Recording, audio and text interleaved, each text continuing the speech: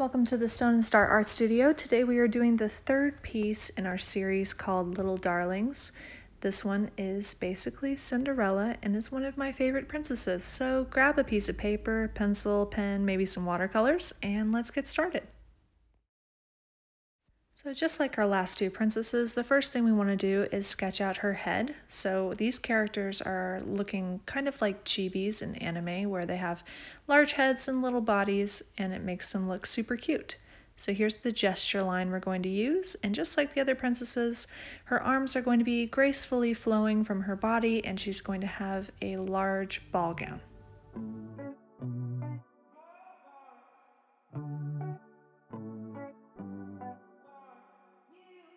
So for her torso, I like to do a soft V shape going from her shoulders to her waist, which will then blossom out into this big, beautiful ball gown.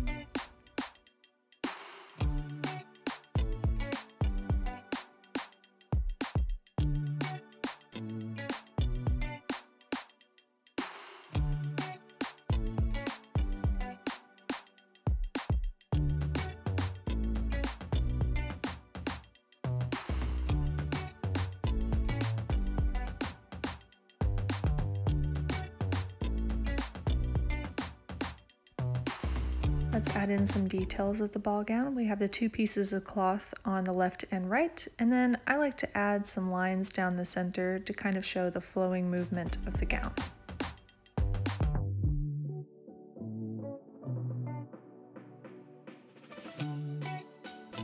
In her left hand, I'm going to draw a little glass slipper, like she just picked it up or she's about to try it on.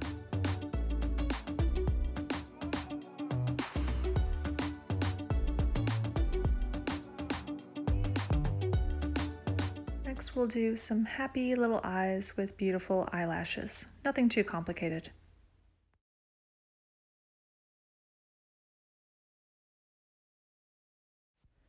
For her hair, we're going to make her bangs a little more realistic, so we'll act like she has more traditional bangs. Next, we can't forget her signature black headband.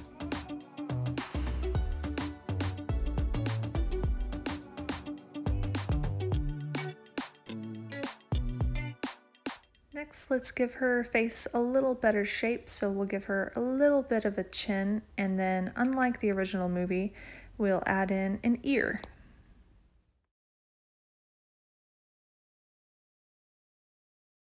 Then on the top of her head, we'll add in that big, beautiful bun.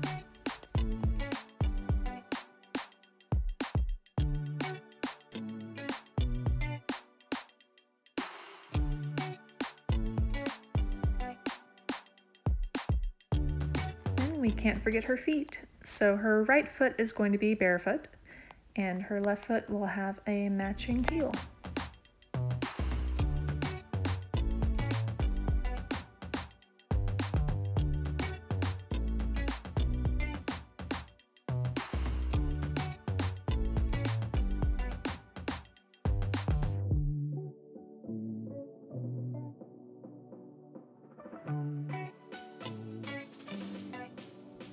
Then far in the distance is the tall, elegant towers of the castle.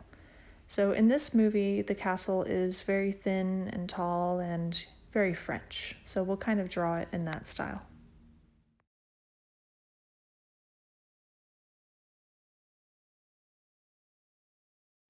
Next, let's go back and ink our work. So as always, whenever I'm drawing people, I like to start out with whatever hair touches the sides or the top of the face, basically anything that would overlap the face.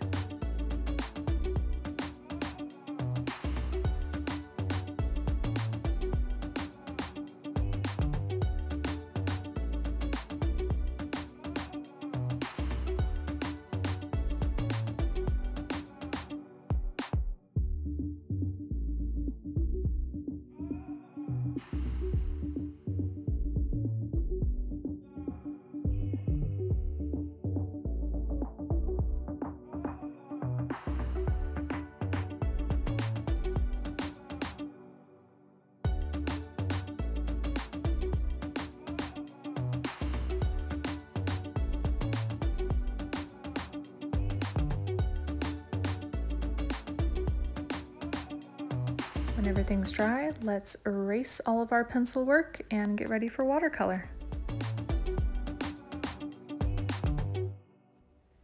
Because her dress in the movie is this soft, pure silver color, we're going to start out with a soft pink for her dress and kind of work our way darker as if the sun is on the top right of the paper.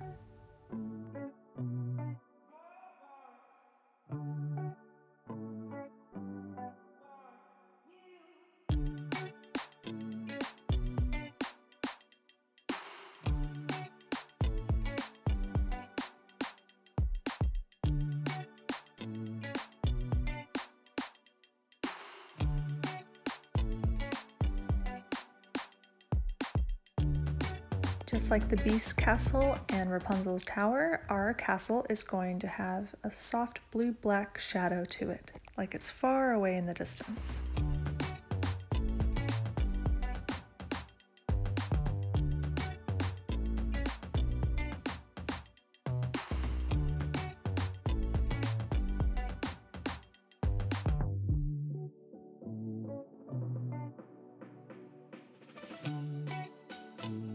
And we can't forget her perfect pink little cheeks.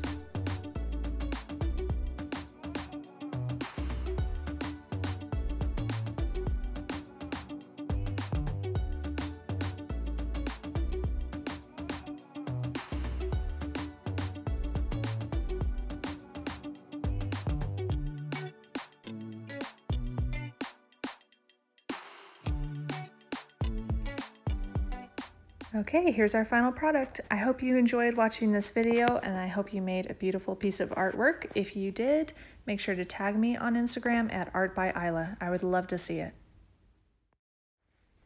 Thank you so much for watching. I hope you enjoyed this little darling series and stay tuned. You never know, maybe we'll do some more princesses later. But follow me on Instagram and like and subscribe if you want to see what our next series will be. Thanks for watching.